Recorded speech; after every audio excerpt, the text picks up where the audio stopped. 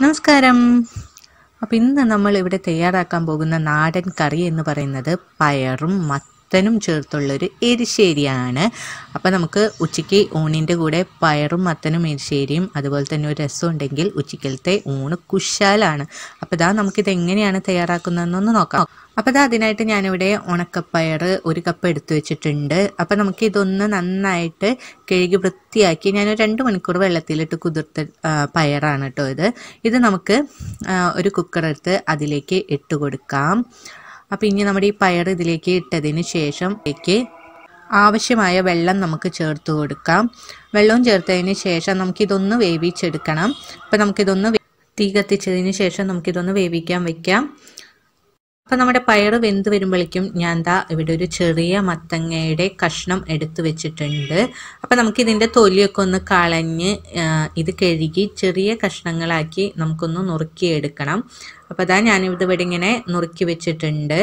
അപ്പം ഇനി ഇത് നമുക്ക് നമ്മളെ പയർ വെന്ത് വന്നതിലേക്ക് നമുക്ക് ഈ മത്തങ്ങയുടെ കഷ്ണങ്ങൾ ചേർത്ത് കൊടുക്കാം.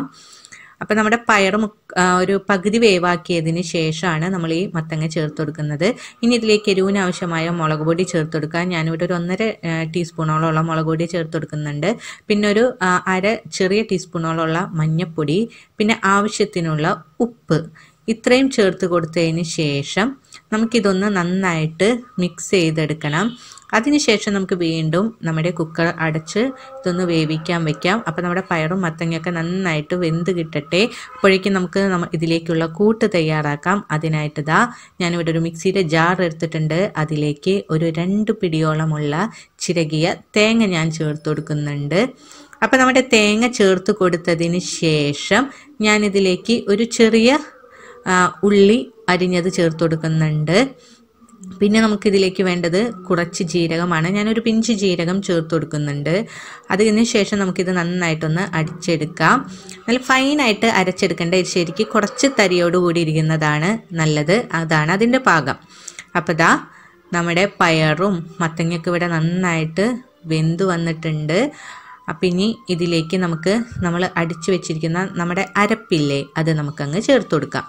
അപ്പം നമ്മുടെ അരപ്പ് മുഴുവനായും നമ്മൾ ചേർത്ത് കൊടുത്തതിന് ശേഷം ഇത് നന്നായി ഒന്ന് മിക്സ് ചെയ്ത് കൊടുക്കാം. നമ്മളിതിൽ ഉപ്പ് നേരത്തെ ചേർത്ത് കൊടുത്തിരുന്നു. അപ്പോൾ ഉപ്പൊന്ന് നോക്കിയിട്ട് പിന്നീട് നമുക്ക് വേണമെന്നുണ്ടെങ്കിൽ കുറച്ചുകൂടെ നമുക്ക് ചേർത്ത് കൊടുക്കാം. അതിനുശേഷം നമ്മളിവിടെ തിളപ്പിച്ചെടുത്തിട്ടുണ്ട് നമ്മുടെ എരിശ്ശേരി.